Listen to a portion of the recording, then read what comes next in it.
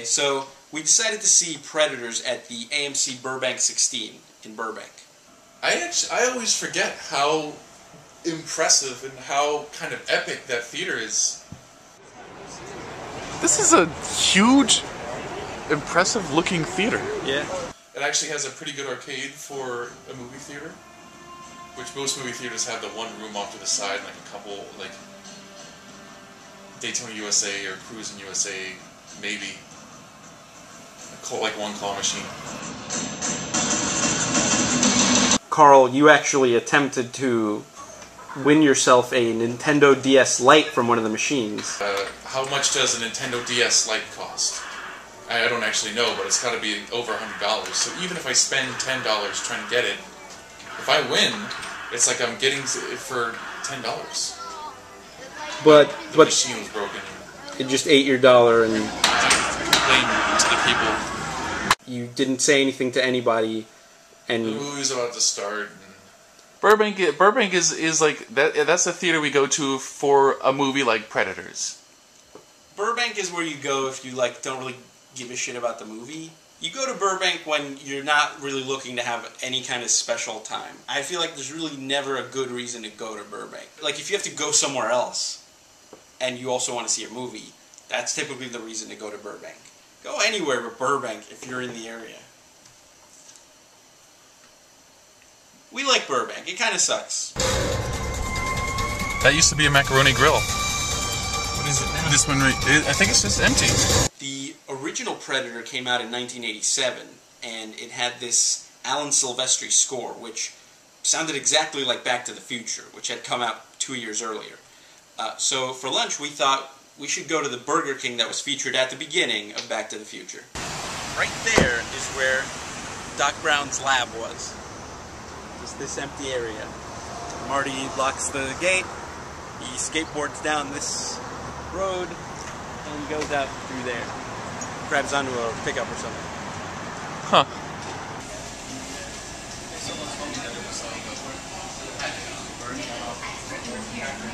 Got a Twilight Eclipse toy. Just like it's a ball. It's got the Edward logo and the Jacob. I thought composer John Debney did an amazing job making this sound like an Alan Silvestri score because it was a great score, but at the same time, it didn't keep reminding me of Back to the Future the way the first Predator did. So, with the score in mind, we headed down to Dark Delicacies in Burbank. So right now we're at Dark Delicacies in Burbank, and in there they're having a Predators event. Inside that building right now is John Debney, the composer of the score of Predators, and two of the guys who actually played Predators in the movie. And if you go in there and buy the soundtrack, they will all autograph the soundtrack and they will give you a free full-size theatrical poster for Predators. They'll all sign that. You get your picture taken with them. And there are people just all over the world right now who would kill to be here to get this opportunity. And really, the, the score was one of my favorite parts of Predators.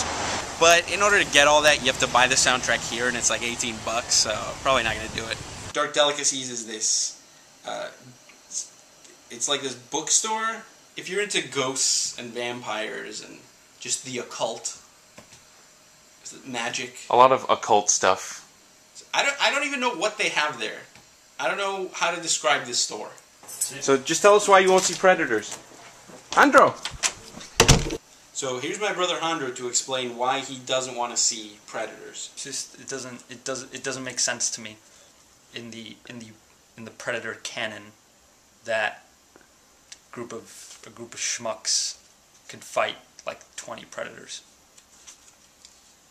You don't even have any idea what you're talking about. You, when we saw the movie and you uh, don't know anything. it's okay is it is it a bunch of guys that aren't jesse ventura and apollo creed yeah, and schwarzenegger fighting like how many pred like 30 predators less. like 20 You don't have to have big Ten. muscles to fight the predators. You have you to have brain. you know you muscle These are like the Gatling top guns. guys. These are the top guys. no they're not They're you know they're black ops. They're they're not- everything. they're every not- they're not every nationality. Everything is represented. stupid and robert rodriguez didn't direct it so why should i see it But he like kind of shepherded it. He produced it, so it's pretty much it's like his baby. not interested Didn't he come up with the idea? yes So not interested I I really enjoyed the movie, and I went in kind of expecting it to be not really that great, just like a fun, stupid movie.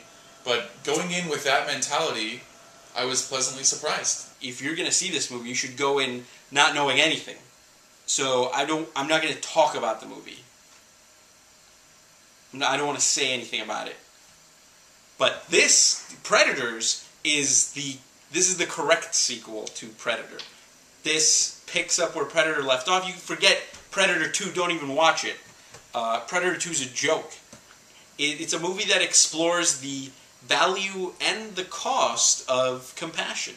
I guess I can't really spoil too much about it. I just had a little bit of trouble with the whole. If they're on, then how is it that the who ended up being a was able to recognize that means that these are on this. So It's kind of funny that in the first Predator, two of the actors went on to become governors. Wonder if that'll Oh. happen to these guys. I thought uh, anyone who thinks that this movie's not worth seeing because Adrien Brody's in it is an idiot because Adrien Brody is totally believable as this badass because I mean just look at his whole body of work. He went up against King Kong, uh, the pianist. He he fucked up the Nazis and the pianist, and now he's here to fuck up some predators in Predators. He was a badass in this movie. Yeah, and I mean, what what do you expect a Black Ops guy to look like?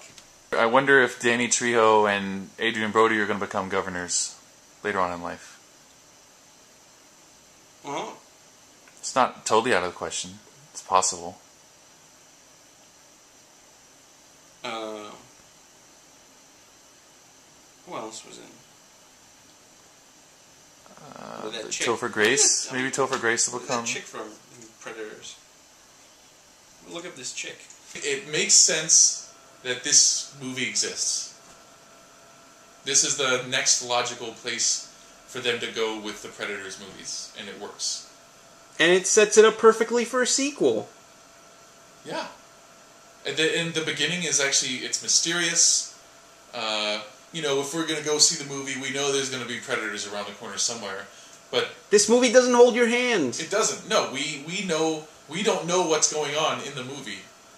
Even if we think we know, okay, there's gonna be predators around here somewhere. Everything else, No. we don't.